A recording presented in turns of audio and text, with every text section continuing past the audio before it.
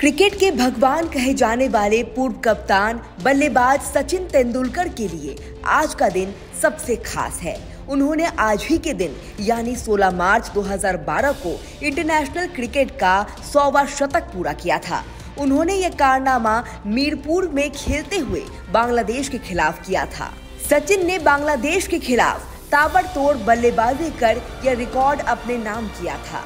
हालाँकि इस मुकाबले में भारत को हार झेलनी पड़ी थी। सचिन ने 200 टेस्ट में कुल इक्यावन शतक, जबकि चार वनडे में उनासी शतक जमाए हैं। एशियन कप के चौथे मैच में बांग्लादेश के खिलाफ पहले बल्लेबाजी करते हुए भारत ने 50 ओवर में पाँच विकेट के नुकसान पर दो रन बनाए थे। इस पारी में सचिन तेंदुलकर के अलावा विराट कोहली का बल्ला जमकर चला था।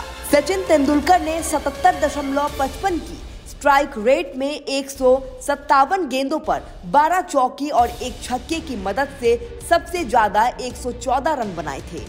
यह उनका सौवा और उनके करियर का आखिरी शतक था। वहीं विराट कोहली ने अस्सी दशमलव चार आठ की स्ट्राइक रेट से बिरासी गेंद पर पाँच चौके की मदद से छियासठ रन बनाए थे। इस मामले में सुरेश रैना भी पीछे नहीं रहे। उन्होंने अड़सठ गेंद पर पाँच चौके और दो छक्के की मदद से इक्यावन रन बनाए थे। जवाब में खेलने उतरी बांग्लादेश की टीम चार गेंद शेष रखते हुए पाँच विकेट के नुकसान पर लक्ष्य हासिल कर लिया था। तमीम इकबाल ने सबसे ज़्यादा सत्तर रन बनाए थे। जबकि जहुसल इस्लाम ने तिरपन रन बनाए थे।